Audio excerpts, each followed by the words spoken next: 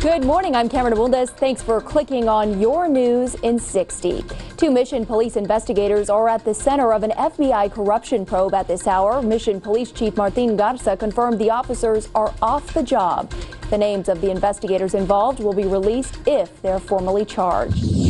A Texas A&M student from Rio Grande City is expected to turn himself into campus police later today. The suspect's brother, Jovan Martinez, is already charged with three counts of burglary.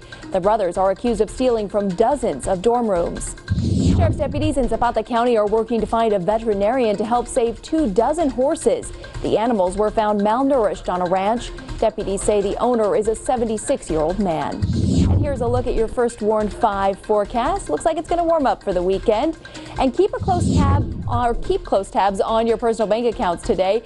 Security firm McAfee released a report warning about a possible cyber attack. The report says accounts at some 30 banks across the country could be targeted. Have a great day.